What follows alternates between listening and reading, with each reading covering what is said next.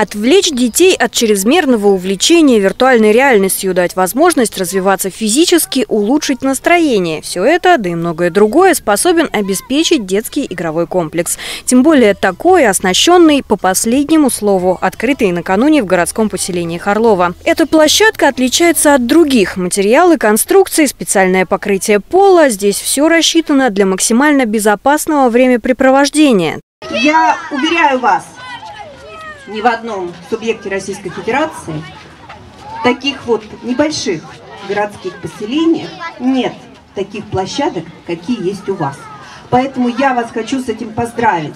Я хочу, чтобы эта площадка ваших детей радовала долгие-долгие годы. Она действительно сделана не только с душой, но и на самом деле по самым-самым высоким стандартам, отвечает самым требовательным моментам э, надзорной деятельности. Ну а самое главное, вот ради этого все делается, ради наших детей.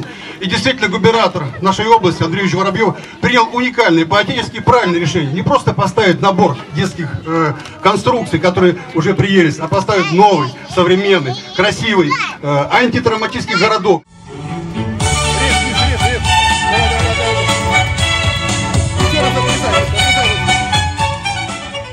Счастья и радости не может быть слишком много. Это подтверждают лица жителей окрестных домов. Для репетни настоящая гордость иметь такое сооружение рядом с домом, а для родителей возможность не переживать лишний раз за досуг своего чада.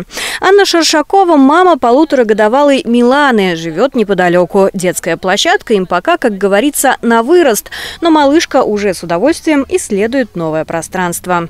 Так мы еще маленькие, ну вообще отлично. Даже вот удобно, даже маленькой на этой большой горке катается, не боится. Пока одни годовасики гуляют по мягкому противоударному покрытию, другие уже осваивают карусели.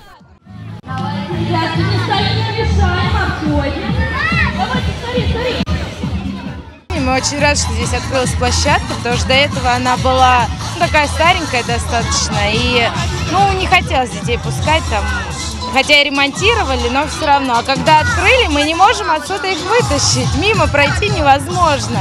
И сегодня это, конечно, замечательное событие, что стали ну, возрождать вот это все для детей. Площадка собрала детей всех возрастов, ведь она оснащена и спортивными элементами.